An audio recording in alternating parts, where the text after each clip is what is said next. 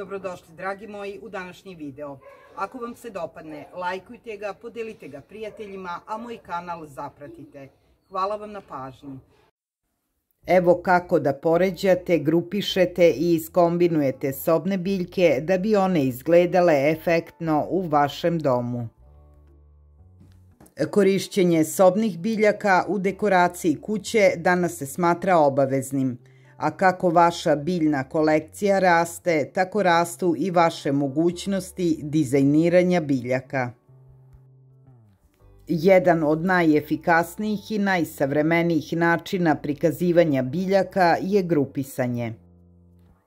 To možete učiniti na više načina, pa odaberite ono što vama odgovara i što odgovara vašem prostoru možete složiti ili organizovati svoje cveće na osnovu boje lišća. Sobne biljke koje imaju svetle šarene listove mogu doneti sasvim drugu dimenziju grupisanju. Uvođenje varijanti boja dodaje dubinu i privlači pogled na biljnu kolekciju. Od tamno kestenjaste do ružičaste ne bojte se živopisnih opcija u svojoj kolekciji. Postoji pravilo 3 u dizajnu interijera i vrlo je jednostavno.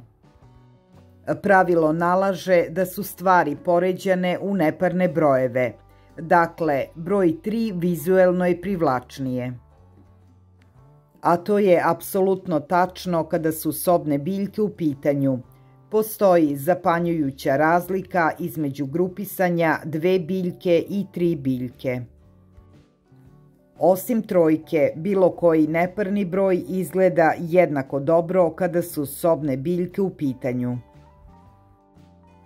Poređajte svoje biljke u trojke, a zatim proširite na druge neparne brojeve. Jedan od najboljih načina na koji možete uticati na sobne biljke je skupljanje oko najpopularnijih mesta u vašem domu gde se okupljaju ukućani. A to je uglavnom dnevna soba, pa grupišite biljke oko ugaone garniture, kauča, fotelja, stolica, stolova. Grupisanje vaših omiljenih i najlepših biljaka oko ovih područja sigurno će podstaći razgovor među gostima i ukućanima. Grupišite i biljke različitih veličina i oblika zajedno. Kada postavite biljke kontrastnih visina i veličina, efekat je prirodniji. Sa biljkama različitih veličina možete da skrenete pažnju osobe na određeni deo vašeg prostora u domu. Oko će pratiti liniju biljke, bilo da je gore, dole ili bočno – pa ako pokušavate da istaknete deo kutka u vašem domu, biljke treba da grupišete u tom smeru. Grupisanje biljaka može da se izvede i prema veličinama i oblicima lišća.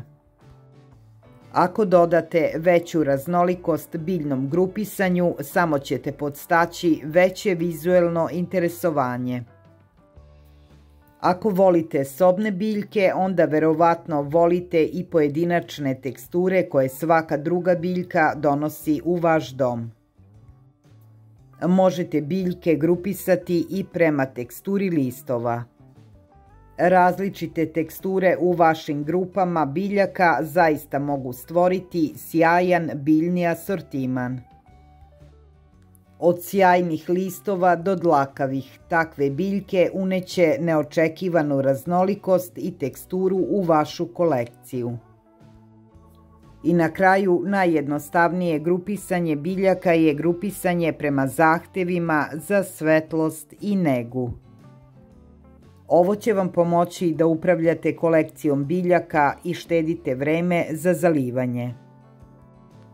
Takođe će vam pomoći da stvorite mini klimu za svoje biljke.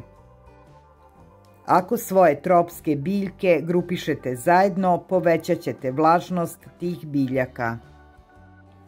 A ako svoje suve biljke grupišete zajedno kao što su sukulenti i kaktusi, možete stvoriti suvo regulisano okruženje koje sprečava prekomerno zalivanje. Ako vam se video dopao i ako vam je bio koristan, lajkujte ga, podelite ga prijateljima, a moj kanal pratite. A mi se vidimo svakoga dana na istom mestu sa nekim novim temama. Hvala vam na pažnji.